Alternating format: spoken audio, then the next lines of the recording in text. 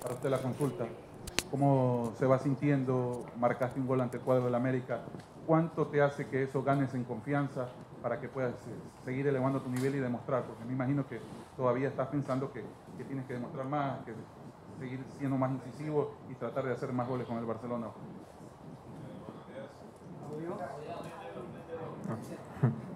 Buenos días. Sí, eh, siempre la, la, consigna está en, en, demostrar más, siempre dar más.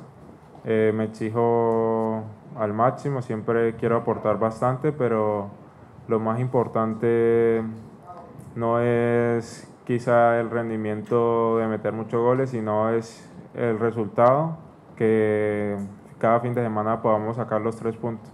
Para mí eso es lo más importante. ¿Qué es lo que debemos hacer en estos momentos? Siguiente pregunta, Carlos Bravo de Radio Estrella. Oscar, ¿cómo te va? Buenos días. Eh, ¿Qué se ha analizado de este rival del Deportivo Cuenca? Fortalezas, virtudes, ¿cómo poderle hacer daño a este rival? Sabemos que es un rival importante, eh, tiene muy buen juego ofensivo, que tenemos que estar muy concentrados pero lo más importante pasa por lo que hagamos nosotros. Estamos en, en nuestra casa, entonces tenemos que, que aprovechar eh, nuestro estadio, también nuestra gente. Siguiente pregunta, Mauricio Ortega. Oscar, buen día. Buen día también para Javier. Oscar, ¿qué es lo que está faltando en la delantera de Barcelona? Un poquito más de asociación con la línea de volantes, un poco más de precisión a la hora de definir, porque los noto medio ansiosos, nerviosos. No sé qué, qué sucede entre esa asociación volante-delantero. Sí, faltan muchas cosas por, por, pulir, estamos trabajando para eso. Quizá cada quien tiene su punto de vista, pero es lo que tenemos que mejorar partido a partido. Eh, no, nos fijamos también en la parte defensiva, en lo ofensivo, entonces eso es lo que, que tenemos que mejorar, tratar de hacer goles y, que no nos hagan. Siguiente pregunta, Jofre Tomara de Radio Huancavilca. Buenos días a todos. Javier, buenos días, buenos días a Oscar también. En lo futbolístico, yo lo veo practicar muy bien, pero ya a la hora de la verdad no se ve ese reflejo, creo, para mí, no sé para ustedes, pero para mí el equipo como que no está jugando eh, muy bien en cada una de sus presentaciones. Esa no es la pregunta, Javier, la pregunta es, ¿cómo están las relaciones con el señor Guillermo Almada y los jugadores? O afecta bastante los problemas que se dan a conocer del equipo del Barcelona. No, bueno, buenos días. Este, siempre he dicho que estamos en un club este, muy grande, con jugadores profesionales.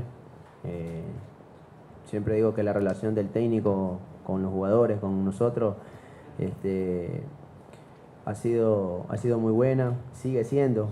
Este, a lo personal, este, la verdad, nunca he tenido este, una indiferencia o cualquier tipo de, problema con, el profesor ni con cualquier eh, integrante del cuerpo técnico, ¿no?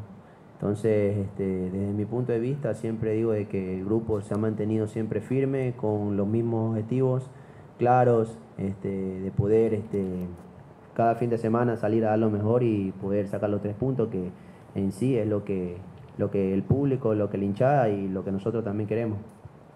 Siguiente pregunta, Jorge Navarro, Super K800. Gracias, buen día. Eh, Javier, buen día. El, la, la, línea defensiva, particularmente los centrales, es la línea que más variantes eh, ha tenido.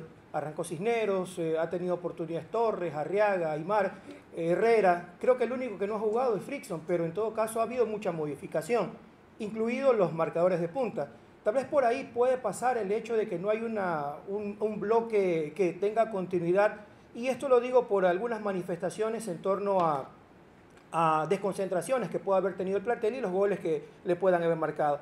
¿Hay la necesidad de que se mantenga ya una línea, una regularidad o por ahí no les afecta el hecho de que hayan habido tantas variantes? Buen día.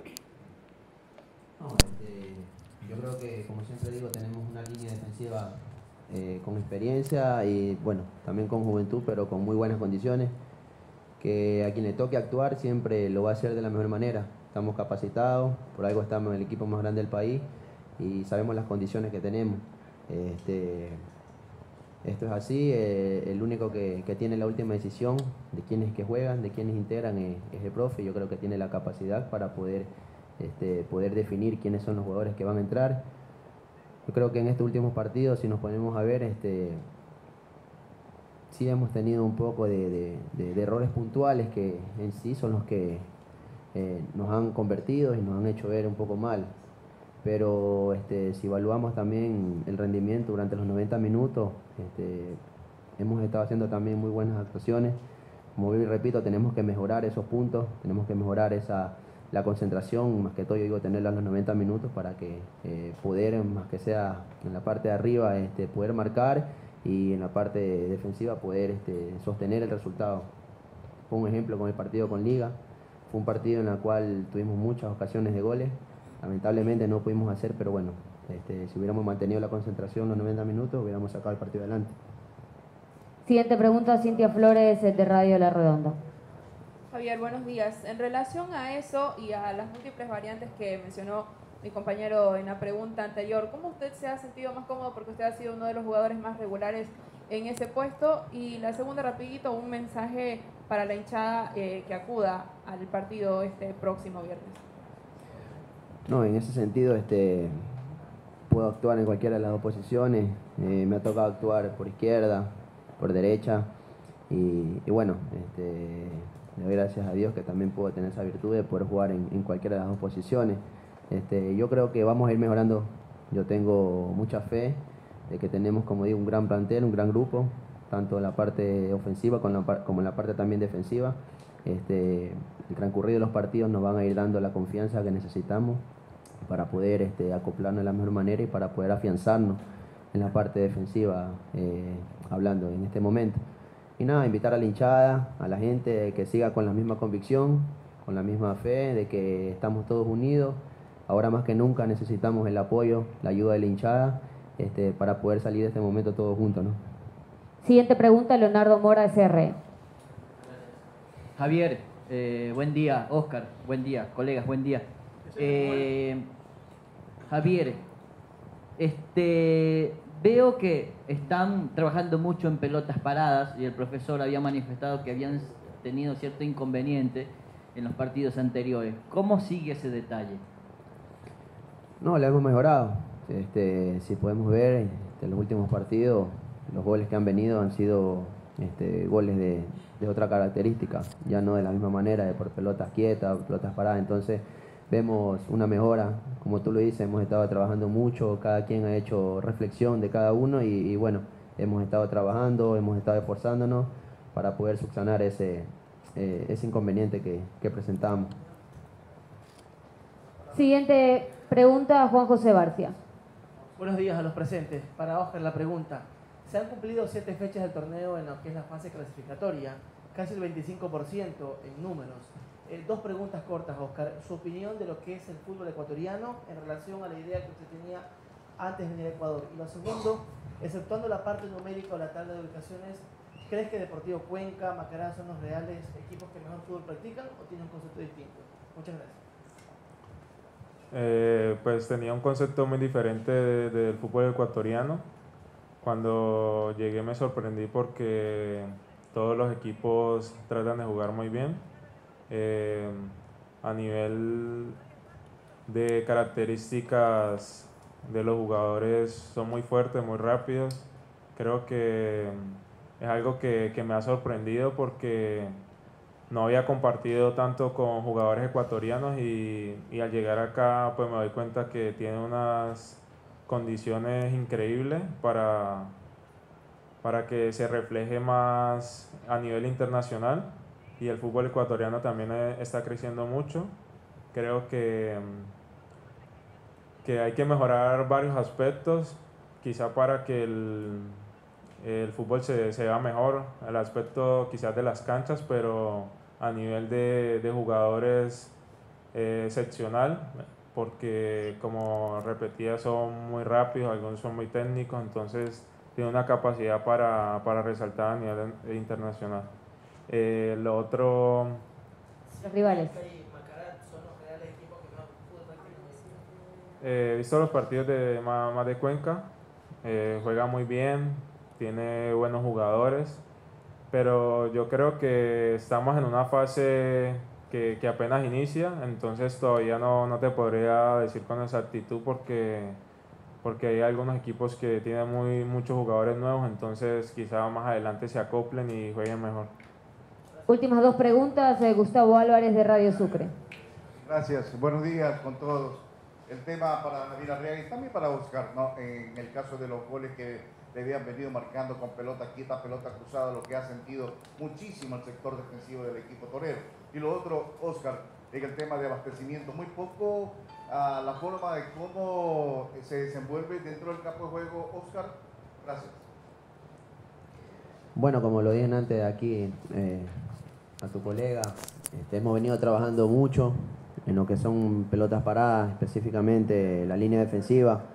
Eh, te puedo hablar de un punto personal, eh, he venido esforzándome mucho para poder corregir este, estos errores que hemos venido teniendo, la verdad, en pelotas en pelota paradas, que han sido eh, goles vitales, que, nos han marcado, goles de, de partidos, goles que hemos perdido muchos puntos. Pero bueno, como digo, somos lo suficientemente autocríticos y profesionales para poder este, superar esto. Eh, como te dije antes, tenemos las condiciones también eh, para poder este, sacar eh, de este momento adelante. Y bueno, yo creo que en este último partido me estado reflejando mucha más seguridad en lo que son más que todo pelotas quietas. estamos trabajando bastante esa parte, quizá en el último tercio falta como ese último, último pase, pero pero a veces tenemos bastante la pelota, entonces yo creo que, que falta ese último pase, pero, pero está ahí.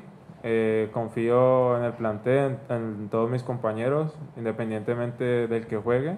Entonces se va a ir dando poco a poco y, y, esperamos que este próximo partido se vea reflejado y también con, con el apoyo de, de nuestra hinchada, que el ambiente es muy increíble aquí. Siguiente pregunta, Alejandra de Radio Atalaya. Buenos días. Eh, bueno, cualquiera de los que guste contestar. Deportivo Cuenca arrancó muy bien el torneo nacional, viene acá con 14 goles anotados. Sin embargo, los últimos dos partidos ha sucumbido. ¿Cómo ustedes van a aprovechar esta situación a su favor? Eh, todos los partidos son diferentes, independientemente de, de, lo que haya pasado en las dos últimas fechas. Nosotros tenemos que, que salir a, a proponer porque estamos de local, tenemos que, que, marcar esa diferencia y así es que tenemos que jugar todos los partidos. Última pregunta, Mario Ceballos, área deportiva. Oscar, Javier, ah, para Javier la pregunta ahí. ¿Cuánto falta para que la idea futbolística de Guillermo Almada sea plasmada totalmente en ustedes? Porque vemos una irregularidad en Barcelona, el partido ganan, empatan, pierden, y no es decir es regular el cuadro torero eh, en qué se ha trabajado esta semana para enfrentar el Deportivo Cuenca y si lo que desea el técnico Guillermo Almada eh, se puede explamar en este partido. Muchas gracias. Bueno, yo creo que, que, la idea del profe es una idea que viene manejando durante ya varios años en el fútbol ecuatoriano. En sí, estos últimos partidos hemos tenido la integración de algunos jugadores también nuevos, algunos compañeros que, bueno, que han estado también este, acoplándose y amoldándose a la idea que quiere el profe como digo, este, yo creo que esto es de, día a día. Esta semana hemos estado trabajando mucho este, en corregir muchos errores que, que, hemos estado reiterando, como repetían antes, el tema de pelota parada, el tema de poder ser más eficaz en la parte de delante y también mucho más sólido en la parte de atrás, tenencia de pelota, que yo creo que son cosas importantes que, que, que es una identidad que tiene el equipo. ¿no? Entonces, vamos a tratar esta semana de poder plasmarlo al día viernes yo sé que va a ser un partido muy lindo, un partido eh, complicado también. Deportivo Cuenca es un muy buen equipo que lo viene demostrando. Así que vamos a tratar de nosotros de salir a la cancha y poder este, plasmar todo lo que hemos practicado esta semana. Muchísimas gracias a Javier y a Oscar y a toda la prensa presente el día de hoy.